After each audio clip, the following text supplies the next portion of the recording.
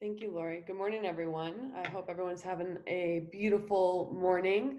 Um, thanks for coming to share your time with me again. I had a lot of fun um, putting uh, this together uh, to share with you today, and so I hope that you find it relevant. Um, I decided to title it Knowledge is Power um, because, as we know, um, knowledge is power, and you don't know what you don't know, of course. Um, but I was thinking about knowledge is power with respect to understanding one another and creating really strong, um, meaningful relationships with one another as educators, of course, and then, of course, with our students and families in our community. And so um, I think that, again, this term culturally responsive is coming up often um, for obvious reasons because it's really important. Um, and I think to build a culturally responsive community, um, we have to really focus on our relationships, right? So building culturally responsive relationships with authenticity and humility is what we'll talk a little bit about today. So humility, interestingly enough, the root word for humility is humus, which means earth or grounded in the earth. And so, in celebration and recognition of the 50th anniversary of Earth Day, um, I thought I would just touch on this concept a little bit, right? So, being humble, having humility is really having a modest view of one's own importance, right? And in order to be culturally responsive, um, in order to be compassionate, we have to recognize that there are um, a myriad of diverse life experiences and perspectives through which to see and understand ourselves in the world and others, and of course, um, the world in general. So, humility is key to building authentic relationships, right? And it's key to being culturally responsive. Um, and so, I also wanted to recognize that today at sundown marks the first day of the holy month of Ramadan, um, which is the ninth month of the Islamic calendar. It's marked by fasting, prayer, reflection, and community. And so um, there are three and a half million Muslims living in the United States. And so I want to recognize that our friends and neighbors and community members are going to be engaging in a month of deep reflection and I think that we can all gain from that um, understanding as well. And so, culturally responsive instruction, uh, I really liked this definition. So, culturally responsive instruction is a pedagogy that empowers students intellectually, socially, emotionally, and politically by using cultural reference that impart knowledge, skills, and attitudes right? So how do we integrate our curriculum, right, and our our communication, our relationships with materials and information that's relevant to our students' lives? I think we can all relate to this, right? I think especially since um, we've moved to this virtual space of communication and learning and education we have been inundated with resources, right? We receive resources from individuals every single day. And so if we think about which resources we decide to engage in or look further into or explore, we can see that we ourselves will only spend the time exploring information that we find to be relevant to ourselves. And so, of course, it's no different um, in the work that we do with with students and of course with the community at large. Um, and this word empower will come up later, um, but we have to believe that everyone has the strength within them to learn and to grow. Right? And so we have to look at our students through a strengths lens, right? And ourselves as educators through the same lens. We can't look at ourselves through a deficit perspective that we don't have the capacity to relate to our students we don't have the capacity to relate to individuals who perhaps have very different life experiences from us, right? We all have the capacity to grow, but it takes a lot of work. And often it's painful, right? But it's going to be worth it in the end. So, this documentary film I came across when I was in grad school several years ago. And it's just something that continues to reemerge for me as being completely relevant to educators, right? And so I'm going to share this trailer with you. Um, it's it's about two minutes. It's called Precious Knowledge, um, Revolutionary Education, and it follows the ethnic studies ban in Tucson that occurred about 10 years ago exactly, um, and this film came out in 2011 You pick up a history book and you don't really see any other cultures in there but Caucasian white people. We were like the Mexicans sitting in the back, just sitting there because we had to be there. I had a teacher that would tell me like, "Oh, you're not gonna go to college." The way things were going, I probably just would have just left school. I'm not gonna lie, I hated education.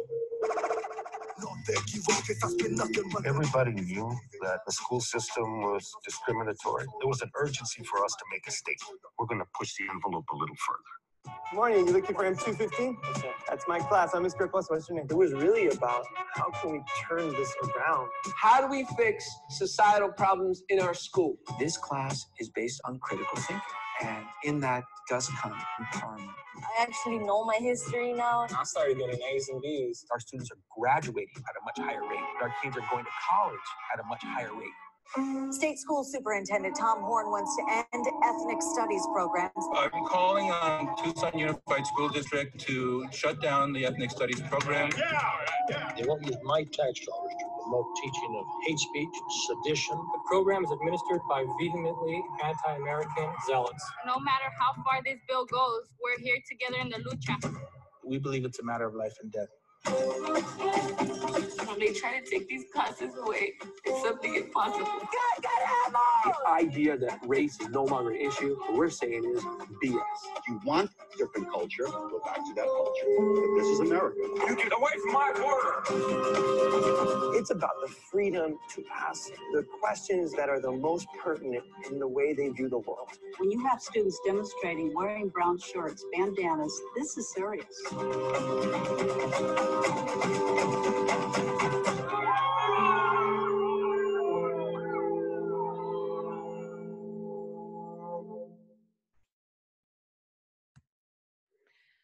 So this the documentary film speaks a lot to working with students to better understand their own history and the comprehensive history of the United States and to understand power differentials and to give them the skills and knowledge and attitude, right, to empower them with an understanding that they have the capacity to go out in their lives and navigate these really complex issues. And so I think it's important to know that that film came out in 2011. Today, April 23rd, happens to be the 10 year anniversary of the signing of SB 1070, which is a really important um, law for us to understand as educators and how it impacted our communities of color here in the Southwest. And so the film speaks a lot to this understanding of how, how do we teach our kids? Is it through a lens of manifest destiny, right? That the settlers that came to uh, what is now known as the United States um, were destined to uh, be here, right? And so, art, as all of you know, in my opinion, is one of the best ways to really look at and address really complex issues that face our society. So, I, in my research um, for this discussion today, I came across this painting, which I think really speaks um, powerfully to this idea of manifest destiny. And historically, uh, this is how uh, we address the history of the United States, right? She's coming through with light, right? She has an ed- a book in her hand. She's going to spread the light, re-educate um, the uncivilized peoples of the Americas. And so when we when we better understand our comprehensive history, it's um, easier for us to then speak to the very complex issues that that face us um, in education, right? Or do we speak truth to the realities of colonization, right? So when I was in school, which was many, many years ago, of course, and I'm hoping and assuming that the curriculums have changed greatly, um, the colonies, the 13 colonies were a wonderful thing, right? And we never, I don't think I was, it was until I was in college that I really learned about colonization. And it wasn't even through the context of the United States, it was in taking courses um, uh, about global issues facing uh, sub-Saharan Africa, right? And so, you know, I think really better understanding the the realities of what has happened in our history helps us move forward, right? We can't really know where we're going until we know where we've come from. And I think also, if you remember, one of the students in the documentary says, "I know my history now." right? I think that in order to empower our students, they have to have a sense of identity and to know who they are in order to know where they're going. Right, so this is an interesting uh, data point. P uh, Pennsylvania State University did a study in 2015 um, that showed that 87% of content taught about Native Americans is through a pre-1900 context right? Um, 27 states didn't name a single individual Native American in their history standards. And so I was like, wow, that is really fascinating. And so I did a light search and I just Googled, you know, famous Native Americans. And sure enough, a whole list of individuals came up pre-1900, right? And so then I, I, I retyped in famous contemporary Native Americans and I was brought to um, more contemporary information about Native Americans who have made significant contributions um, in our history as a country, and then of course continue to. And we know that in 2018, uh, the first uh, female Native American to actually um, joined our Congress. And so, um, you know, I think that when we think about our history, it's important to understand that Native Americans didn't stop existing, you know, in 1900, right? There's a whole ongoing history. So if we teach of the, the Trail of Tears, for example, it doesn't stop there, right? What happened after this? So we have to be honest about um, what happens in our communities, especially here in the Southwest, right? So I think that I drove down Indian School Road every day for 10 years on my way to work. I drove past Indian Steele Park, and I never really once considered the fact that there is an Indian school right there in the middle of our city, right? And so, um, you know, it's important for us to weave um, into our curriculum, into our conversations uh, with our students every day, the powerful contributions that uh, all of the people of the United States have made in our history, right? Um, so this this podcast has been shared throughout the district in the last several days, and so I just wanted to speak to it a bit. Um, thank uh, staff at Esperanza for sharing it and then Lori for sharing it with me. And I know many of you have already uh, listened to it or perhaps read the transcript. And if you haven't, I know you plan on doing it, and I just strongly recommend that you do.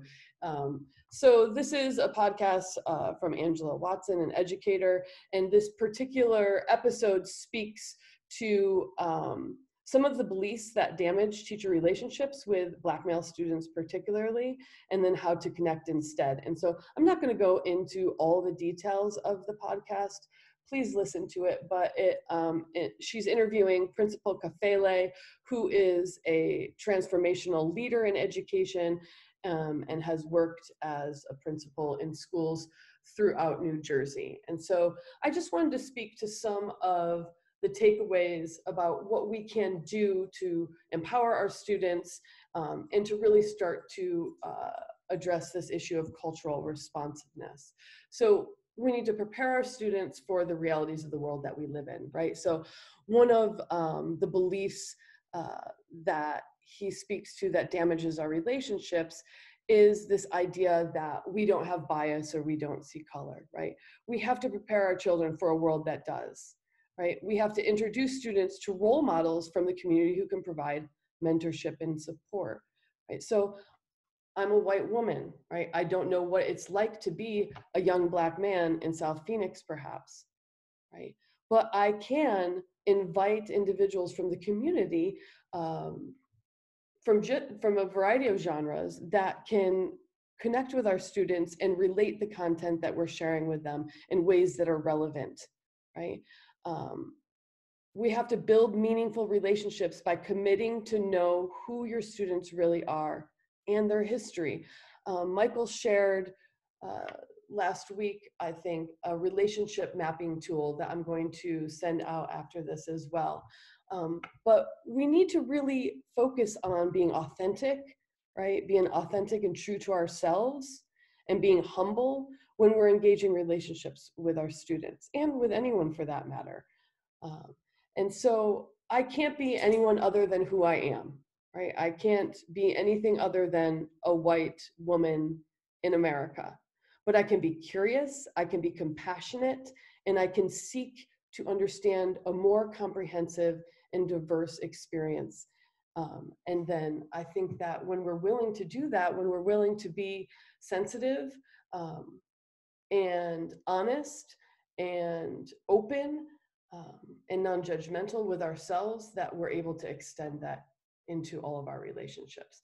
And we have to have the courage to self reflect and have conversations about unconscious and implicit bias and all the things that are really sticky and uncomfortable, right? These things are difficult to talk to, they make us uncomfortable. And um, it's important for us to have the courage. Right, because we model to our students what they what we want for them to have the skills and the attitudes um, and of course the knowledge that we know they need to navigate life right? And so in Lori's um, MCRSD Weekly, you know, she speaks a lot to this optimistic mindset, right? And we all are optimists. Otherwise, we would not be in this field, right? And so how do we support our students to prepare them both academically and socially? right? How do we ensure that they are equipped academic and academically and socially? And so i just wanted to speak a little bit about implicit bias because that comes up a lot in the podcast right? And it comes up in a lot a lot in all of our conversations um, because it's really important. And we have to remember that our biases are habits. We all have them. Um, and so not acknowledging that we have them is harming us and our relationships and it's doing a disservice to the students and families that we work with right? But um, so in uh, an article from Zaretta Hammond uh, that I read recently, um, these were some of the best practices, right? We know that uh, addressing our bias takes intention, it takes attention, and it could take at least a lifetime, right? And that's okay. Um, and so attention is our greatest resource. And so these were some other strategies that she spoke to that I thought were really interesting. So, reassociation or stereotype replacement is really reframing negative stereotypes. So, when we're willing to be intentional and pay attention to what is going on in our minds and perhaps even in our bodies when we are um, engaging with individuals, um, we can start to interrupt the habitual thought patterns, right? And then reframe them with positive thought patterns. Refuting, refuting is a technique where, again, you recognize the stereotype and find examples that prove it wrong, right? Oftentimes, we are activated and we see and understand something immediately a certain way, and we have to be able to step back and take perspective and remind ourselves that this is not true. And I know this because I know it not to be true. Perspective taking, this requires compassion we cannot take perspective if we're not willing to be compassionate and understand that everybody is coming into this um, into a conversation into an interaction through their own lens and life experience so we have to be compassionate with ourselves and others uh, when we're trying to address these issues around bias so I remember the day, I don't remember the date, but I remember where I was driving my car to work when I heard this um, on the radio. And so the piece was about, um, again, reframing the way we see and understand people. And in this particular case, young Black men.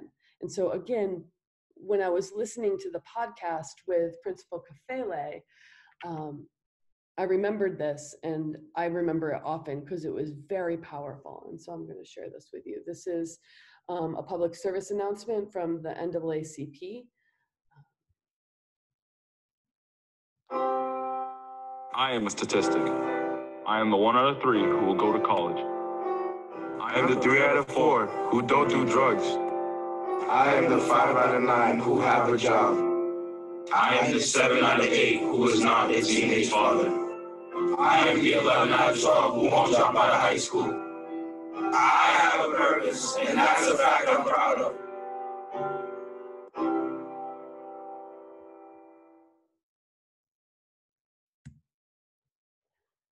So, building culturally responsive relationships and weaving culturally responsive lessons into our curriculum starts with a foundational belief that we all have value, we all have purpose, and we all have strengths, right? And so, our role in education is to uncover those strengths and help our young people know their value and their worth and to give them the tools to um, feel empowered to go out into the world and pursue their goals and dreams. Um, and so that's all I have for you today. I wanted to share this with you. I have gone against all of the basic 101 of community organizing rules and decided to uh, host without your advice or um, permission or um, request a perspective film series. So on the last Tuesday of the month, with which happens to be next Tuesday, April 28th, um, I'm going to send out a Zoom link for us to meet if you're interested to view the documentary film Precious Knowledge. This has been a really powerful tool for me, um, and I want to share it with all of you who are interested. So uh, look forward to that link. And also, I have included today the list of resources that I explored to put together um, today's discussion. And so I hope that you found this time valuable. I hope you found it relevant to your days. Um, and I thank you all. Have a wonderful day.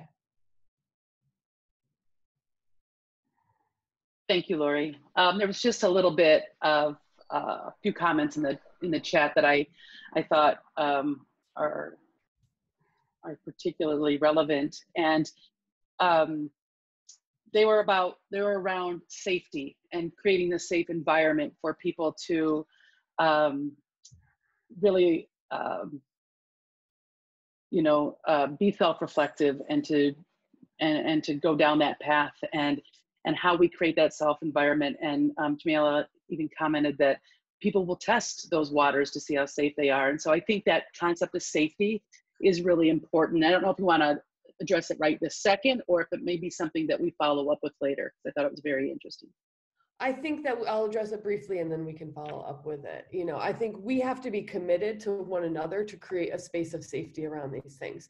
And we have to be committed to creating environments where we're not scared to ask questions that we feel are stupid, you know, or that are going to offend somebody. And I think that um, it'll be interesting as we move forward in Esperanza reading crucial conversations how this comes up, right? Because these are all crucial conversations um, around culturally responsive uh, learning, around building culturally responsive relationships. Um, and so we are responsible for creating safety in uh, in the environments that we work in and i think almost a silver lining of this virtual time is that there is a slight buffer right so this is a great time for us to really start to to to be honest and open and non judgmental and non critical and mostly compassionate and humble, right? So, um, again, knowing that our lens is simply our lens, our truth is simply our truth. And we have to be willing to step back and acknowledge that other people are allowed and have permission to have their own truth but I think this concept of safety is extremely important, and I can um, perhaps uh, address it more in the in the coming um, Thursday morning uh, live with Lori. You know? All right, great. I'm just going to leave us with um, the comment that Larry Ross put in the chat. He said, studies show that students of color flourish academically and socially when they're taught in a culturally competent settings. Ties into the African proverb, know thyself. I just thought that's what we're doing. That's why we're doing this. And Larry, I, I appreciate you putting that in the chat. And with that, we're going to wrap up today's um, learning break and got a lot of work today to get to. So um, I wish you all a great, happy, safe Thursday. Thank you. Thank you.